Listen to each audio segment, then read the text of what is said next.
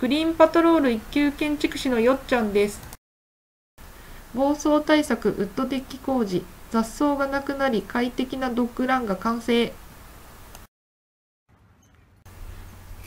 あ、玉をあ小さなコテで鳴らしてますけど、奥に見えるのは花壇ですか？はい、もうレンガ、オーストラリアのレンガで、えー、縁取りした花壇を作ってます。うーん、マーベル花壇。ドラセナというヤシのよう植えて、根元はあの季節の花が咲くように花壇にしてます。ああ、かわいいですね。いいですね。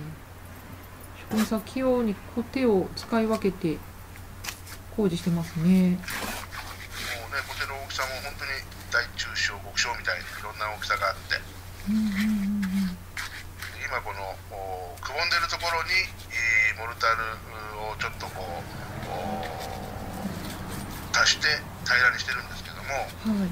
一見簡単に見えるんですけどこれがやっぱり絶妙な量の目見で見てうん配ってるということですね、もう10年選手じゃなきゃできないですなかなか目で見てこう平らにね鳴らすって難しいですよね。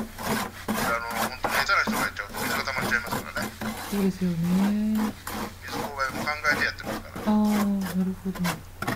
手前に見えるのはポストなんですか。その柱は。このポストにインターンがつい。てい。てはい。インターンの配管がこのコンクリートの下に入ってずっと庭の方に外の方に行きますうん。もう繋がってるんですね。そうですなるほど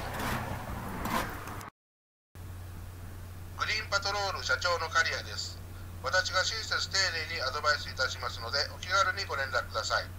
フリーダイヤル0120-041-301です。お電話お待ちしております。